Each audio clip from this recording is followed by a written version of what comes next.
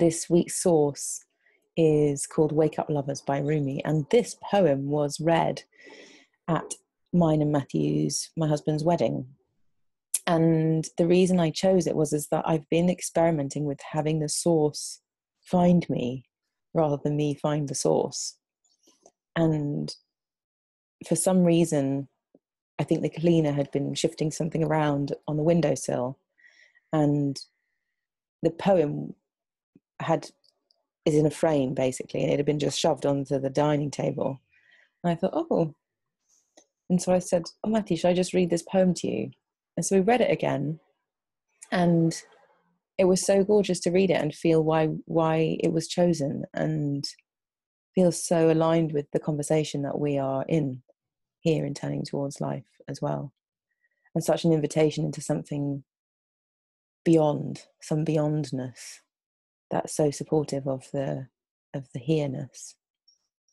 And so that's why i thought it would be a really nice source for us to have. So um, why don't i read this? We do this the other way around to the way we wouldn't ordinarily do it lizzie. You chose the source but i'll read it 1st mm-hmm. so this is called wake up lovers and it's uh, a poem by rumi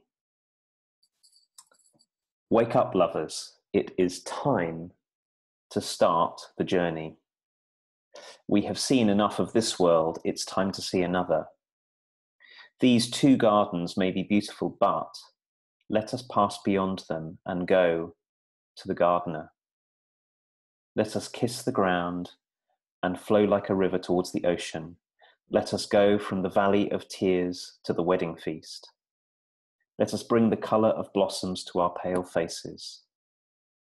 Our hearts shiver like autumn leaves about to fall. In this world of dust, there is no avoiding pain or feeling exiled. Let us become like beautifully coloured birds and fly to the sweet land of paradise. Everything is painted with the brush of the invisible one. Let us follow the hidden signs and find the painter it is best to travel with companions on this perilous journey. Only love can lead the way. We are like rain splashing on a roof. Let us find our way down the spout. We are like an arched bow with the arrow in place. Let us become straight and release the arrow towards the target. We have stayed at home, scared like mice. Let us find our courage and join the lions. Let our souls turn into a mirror, longing to reflect the essence of beauty. Let us begin the journey home.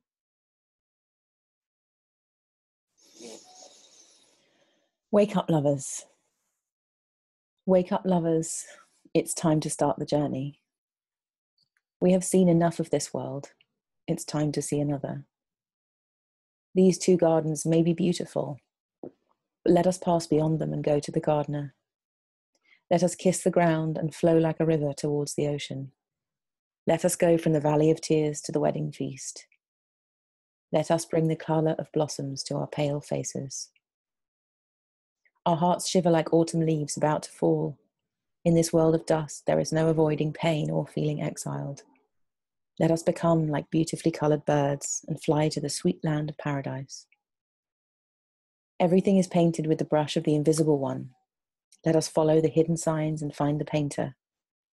It is best to travel with companions on this perilous journey, where only love can lead the way.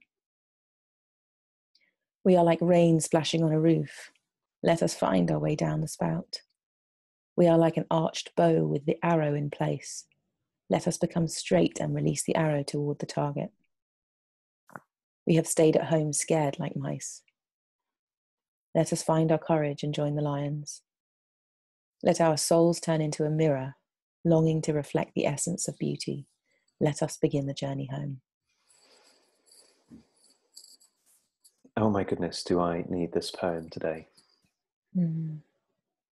And I, have done a, a, little experiment here, Lizzie, which is um, I didn't read the source before this morning. Very often when one of us chooses, I read and I'm sort of soaked in it before we begin.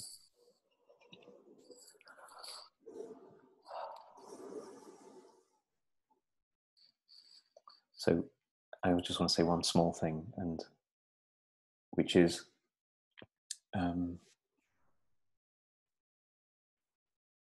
I want to pick up on this uh, line, well, on all of it, but the Rumi says near the end, we've stayed at home scared like mice. Mm. One of the things I know about myself, I know Lizzie, you and I have talked about this many times, and I've probably talked about this a bit here on Turning Towards Life, is one of the things I know about myself, but I think is true of so many people, is that we so easily feel our smallness and our separateness and our vulnerability. Mm we're so, we're so tiny. Like we're we're so proud. I think in the world of all the things we build houses and cities and internet and send people into space, and you know, mm. it's really easy to get look at how powerful we are, but but very deep down, we also know that we're so totally not in control of anything, and we're not in control of the really big things like getting sick or dying or huge circumstances changing around us, all of those kind of things. So I'm feeling enormously grateful for Rumi's reminder that we that we have to know. It seems to me really important that we know that where I end is not the sum of it, everything. Mm. We have to know that there's something other that's not me and yet also isn't separate from me something the, the something from which we come. So when he says um, oh, where is it? Let us um, we we are like rain splashing on a roof. Let us find our way down the spout. Mm. that. And um, most of that sense of us being being the um, outflowings or the outpourings of something that's not us that brought, brings all of this forth is missing and i know that when i forget it that's when i'm at my most mm. terrified and that's why i love let us find our courage and join the lions this way so i'm really feeling moved really touched by this and emboldened by it as well mm. Yeah. I love the order of it as well, in that that comes toward the end. And it feels like the invitation from Rumi is speaking of the beyond and then coming right back into what could be right here, like finding our courage and joining the lions, and almost employing the thing we learned earlier in the poem, which is that there is this beyond that is our true nature or our true essence that's deeply supportive of and required for in some ways to find our courage and join the lions. So it's like he he speaks of maybe you could liken it to kind of personality and essence and how infused together it's possible to have that courage. But when we think we are the smallness that you're talking of, Justin, and we forget that we are greater than our fear and smallness, and that there isn't some beautiful, essential, faithful something in support of us that's available to us because we are a being it does feel impossible and we do feel like mice and we do feel afraid. And this this poem in a way as i'm seeing it now is testament to also how how we need i need one needs maybe to feel this support also in a marriage. It's why we had it at our wedding which is know the lines these two gardens may be beautiful but let us pass beyond them and go to the gardener. It's like at the time of getting married maybe it's all rosy and romantic or something. And it's inevitable that we're going to need to find something other than just the way that we think each other's cool or something because life is going to happen inside of the marriage and and outside of it and we're going to hit different places. And to have a a way of seeing that includes the gardener i.e not just the gardens that got made you and i but who made us what made us what we are well what where we came from. To find a way of being in contact with that. And i don't know i can't remember i think in the ceremony there was also a part about god being included in a marriage. We got, we got married in a church. And having that interestingly the third space as i relate to that i don't know what it is a field a something that is life-giving that is alive and generous and wise and benevolent ever benevolent to bring contact with that into a marriage a friendship a business a relationship to self feels like what this invitation is and as as Rumi says, there's no avoiding pain or feeling exiled. Like that's not going to happen. Like you can't get around it. You know, one of our other sources was around the the humanity of suffering. Like it's just anyone who's being honest knows that we're going to hurt. Things are going to be tricky, and it's not straightforward. And so the necessity of being in contact with this faith, with this whatever whatever it is it could be love even it could be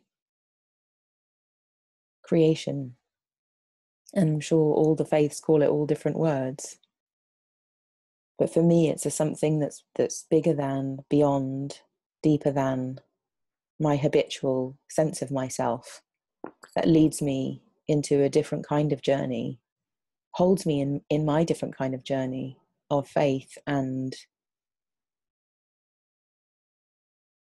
not taking what I say or feel as the truth as well. You know, giving myself some distance between what, what my version of events might be and what might be actually really happening, and letting that be a question forever, so that I'm not sure of everything or anything even, and learning to accept that openness and that faithfulness as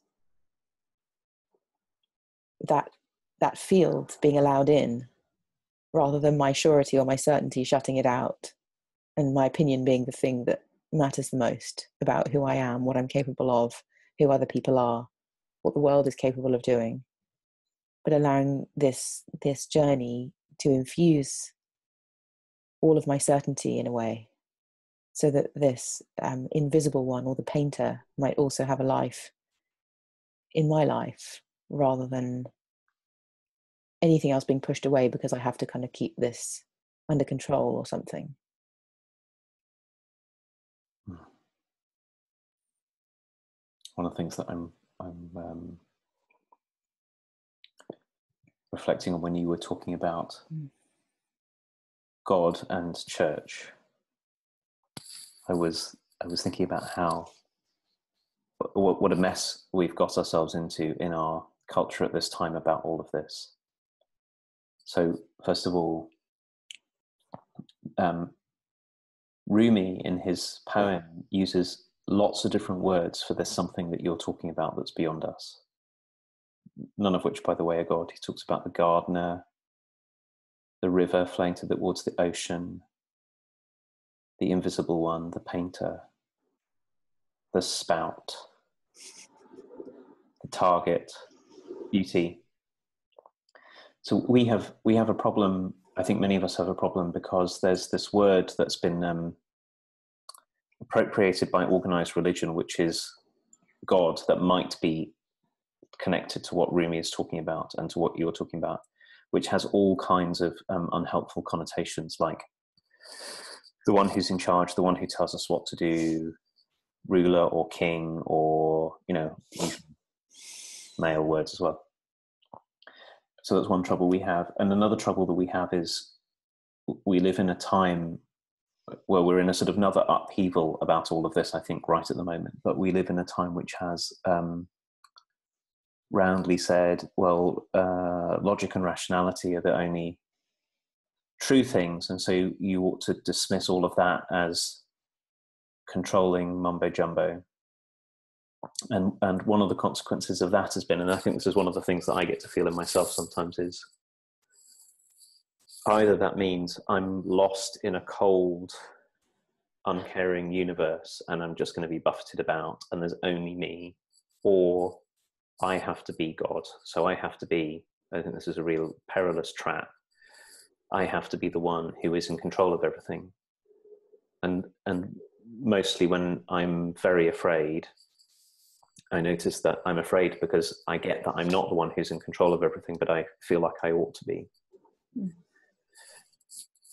And so, in the absence of having some sense that there is something other than me that is big enough to include everything and all of us, and from which everything comes mm. the gardener, or the painter, or the invisible one, or when, when we don't allow ourselves to have a deep sense of that, I think, mm. I think we're in really big trouble. We're certainly in really big trouble the moment that we reach the limit of our own capacity to be in charge so we can kind of manage without it for a while and then someone gets ill or like you're saying lizzie we founded a marriage or relationship based upon what i like about the other person you make me feel happy or you're beautiful or you know we like doing the same things and that changes mm. and the other person isn't that and all of a sudden what i wanted is no longer in my grasp mm. and unless we can have uh, this is why I think Rumi says it's so beautiful. He says, um, "It's best to travel with companions on this perilous journey." It's a really perilous journey to find the courage to allow ourselves to to um, open beyond our own uh, need to be the one who's in charge and to have the world just the way I like it, which isolates us so much and makes us so afraid unless it's all going really well, in which case sometimes we feel like, okay, it's perilous because everything that we thought that we relied on may get taken away from us. And then the question is, is there anything else we can rely on? And as you keep on bringing so central to this conversation, we actually can't do that alone. But the only way that we find out, what, well, one of the very powerful ways that we find out that there's something from which we are all coming that we can rely on is to look into the eyes of another human being and to see in them what is so hard to see in ourselves that is the same but is like I look at you and I can see you're not me and yet we clearly are a shared something. Yeah. I'm thinking now of Justin the St. Francis and the Sow poem about the, the receiving of somebody's essence and the source that we talked about last week, where inside of that relationship, maybe the painter is included when the, the seeing of one another's essence happens. So, in the practice of seeing one another, in the practice of appreciating the essentialness, the goodness, the good intentions of others, it's like we naturally invite what the source is, what the painter is, what the invisible one is, what the spout is. And I've no idea, in a way, whether that's true or not in terms of factualness but to me like when i when i feel into the gift of that like the gift of me receiving you because i see you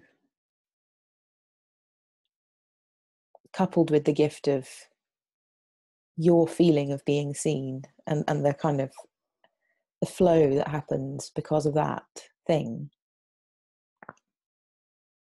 it feels to me one of the greatest connections into the beyond that I know how to participate in. And of course, it could happen with a tree or a blade of grass or a flower and a dog and a cat and a little rat running across the road. You know, it's like there's life, like where there is life, there is the possibility for this. This to be invited in. And so for me, the reminder of what it means to wake up, this poem is called Wake Up, Lovers. Us waking up to one another, to other beings, other beings waking up to us and being in relationship with life in wakefulness as opposed to taking for granted or being numb to or in denial about. It feels like to live a life of continually asking the question about waking up and connection and connection to something beyond and having faith it's like it in the moment now describing it it makes me feel like i can breathe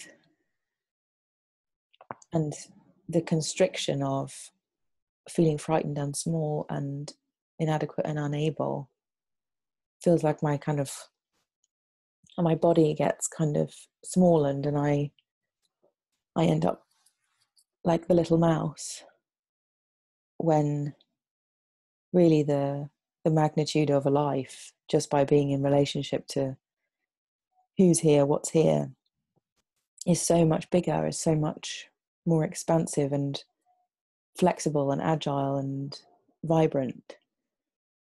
So to be infused with this this poem, to be to let it breathe into me, to let it flow into my awareness and my consciousness and my body, and my breathing, feels like a liberating inviting, interesting, compelling,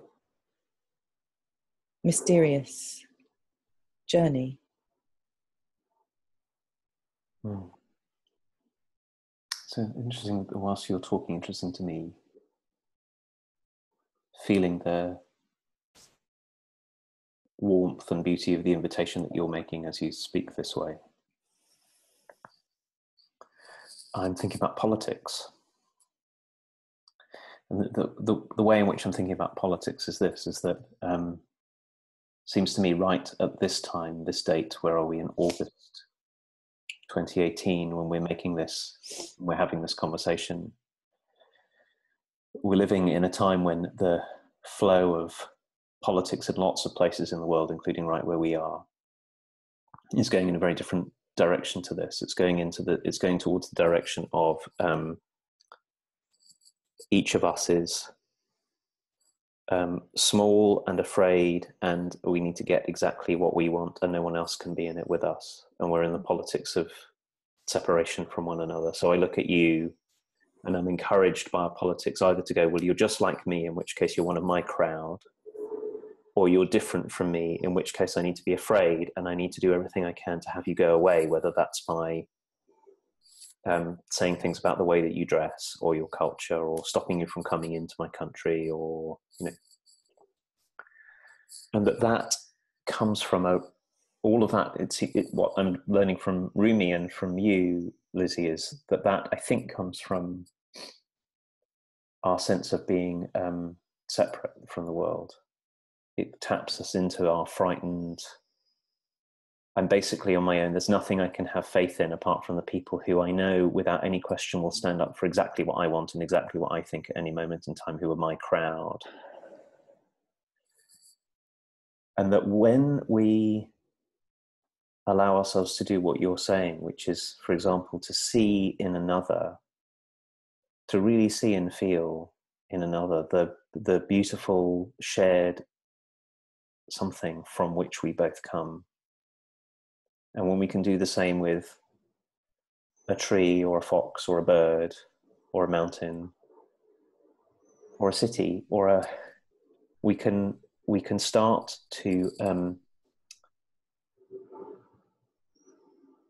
we can start to open ourselves to a different kind of faith. And the faith is not that i'll have things just the way that i want it or that i'll be physically safe. Like I have to have the world just right so that I have exactly what I want all the time and I never have to feel afraid. We can start to open to we're part we're partic- we are just mostly participants in something way bigger than ourselves, and our job is to take care of. I think this is the part I'm getting to. It it awakens us to coming out into the world and to taking care of one another and to taking care of the whole something that we're all part of. Mm.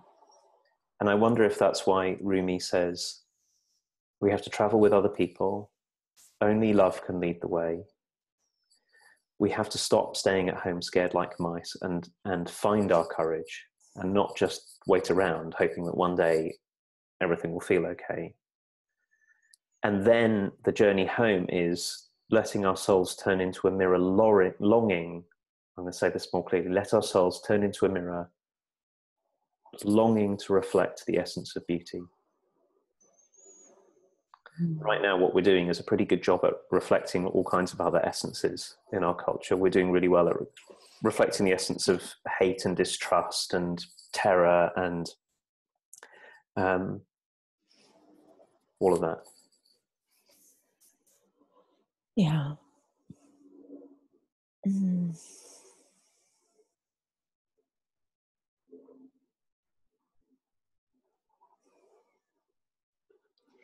Yeah, it feels like to be to become a soul that turns into a mirror, longing to reflect the essence of beauty, requires us to be open to that beauty. And it's so easy to get swallowed up in, as you say, all of the politics and the disastrousness and and it comes from a place of care that we do get swallowed up in it you know, it comes from a place of care that I get addicted to scrolling through my newsfeed to find more disasters that are going on. And and it's important that I read that and I know that. But it's so easy to forget all of this, all of the mystery of it all whilst being taken by the things, the world, this world that we so care about. And so I feel like what I want to be an advocate for is is like the intertwining of these things, like not putting politics down and at the same time not putting the painter down.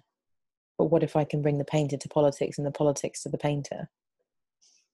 I'm feeling like I could be a weaver of things, which takes huge skill. I mean, it's so difficult to be in the domain of a debate about politics with someone and remember the painter like that seems to me like a lifetime's beyond that even work. And yet what if i could have practices that leave me further in contact with this? So that when i do face these things these debates these chances to vote for something or not or participate in whatever way i can in caring for the world all of this could be included. You know, I could be in a conversation for what I really think is important in the world whilst being in contact with this part and not just my agenda and as you say not just what I want but holding the possibility of something greater something wider than just me winning or you winning and maybe the contact with this what Rumi's pointing to and what I personally can feel so strongly is that there is a third space, there is a third part that is beyond the polarities that we that we feel as personalities. It's beyond the right and wrong. It's beyond the good and bad. It's beyond my opinion of things and your opinion of things. Something else. And if we can soften into that as well as have the debate, as well as talk to each other, as well as communicate, and let it infuse our communication infuse our care for one another, no matter what our views are, that would be such a different world, wouldn't it? Yeah. And when we're in a marriage or a friendship or a, any other kind of relationship, and we're in trouble and afraid or feeling insistent? Can we do mm. the same? Can Yeah. we feel our way into the this this line is right in the middle? I wonder if Rumi wrote this intentionally in this way. Everything is painted. Everything Yeah. is painted with the brush of the invisible one. Let us follow the hidden signs and find the painter. So that's that's the move Mm. I think that um, we've been talking about all along that al- allows us. It's not just a conceptual move, although sometimes that's very helpful. If I'm in disagreement with you and we're both ends of different ends of a polarity of wondering what's the something that yet includes both ends. It's not just that; it's also knowing that. Um, I suppose this thing that I stumble on every now and again, which you hinted at or talked about earlier, which is um, I can only be here, and each of us can only be here because there's an entire mysterious something going on that gave rise to there being stars and planets, oceans and skies, the beginning of life, reproduction, all of that down through billions and billions and billions of years that allow me to be here. So the moment I think that I'm I'm in charge of all of this and I'm meant to have it all my own way is the moment I've lost contact with that. And we, when we can find our way back. Yeah, I've been um, I've talked about this a tiny little bit here, but a lot with you, Lizzie. I've been swimming every day recently in the ponds up on Hampstead Heath, and I slip into the water, and it's like I remember this. So I think this is the main reason why I do this: is I realise that I'm no different to the ducks and the fish. And Mm. but the other day I was swimming early, uh, pretty much before anyone else was there, and the sun comes over at a steep angle in the morning and reflects off the water onto the undersides of the trees that are Mm. around the pond, and so Mm. all the trees are shimmering with reflected sunlight. So first of all, it's just beautiful, but second of all, I I suddenly got briefly when I was in the pond earlier in the week that um, that's what we are with a reflected sunlight on the underside of the trees. And when we know ourselves that way, one of the questions we can ask is, What's the sun? Mm. It was such a relief to know myself this way and to know ourselves this way that we are the outflowings or the, the expression of something, not the, not the something itself in and of itself. We're not that we're not the end of it Mm. or the all of it. Yeah. I'm really appreciating, Justin. I'm feeling really moved by everything that you're saying. And this everything is painted with a brush of the invisible one. You know, when I combine that with your reflection about the sun on the trees and the shimmering and the you're no different to the ducks and the fish thing, it feels like I'm I'm part of this, and I know lots of other people have this too, of feeling like we're special, we're exiled, particularly, as in we're not included in that part of life that other people have, or the bit that I want is not available to me, or something, or that I'm on the outside of a social circle, or I can never get in. That that feeling of of exile. And when I heard you say everything is painted with the brush of the invisible one and imagined you in the pond, I felt this big rush of, well, I'm painted with the brush of the invisible one. Like, whatever my circumstances are, I'm not excluded from this thing called life. Whatever my personality is doing to have me feel different or special or exiled or outside of or separate from, there's a deeper truth than that available and it's shown to us through the refracting sun on the trees, through the way a pond feels on our skin, through the way somebody holds us. You know, a hundred different opportunities a day or more as as an offering into this field that we're talking about, this this something that's holding me all the time. And yet I make up a thousand different stories to feel like it's not, I'm not included in it. I'm not held in it. I'm not painted by it. I'm different somehow. When actually, yes, I'm like the fish and the ducks. And how glorious it feels to be like the fish and the ducks, and also how much of an agenda I have to not be like the fish and the ducks. and so just relaxing into that invitation of the inclusion of being painted by the invisible one and that i could i could live into that feeling ever more deeply every day of following the signs to feel into the painter if i am painted what am I what am I painted by? So I'm just feeling really warmed and also quite excited actually mm. of this feeling.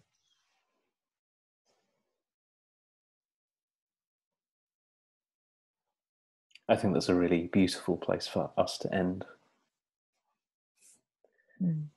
There's always much more to say. Yeah, of course. So I want to say thank you to you, Lizzie, and uh, thank you to everyone who's joined us. And we'll see you next week. Thank you, everybody. Thank you, Justin. See you next week.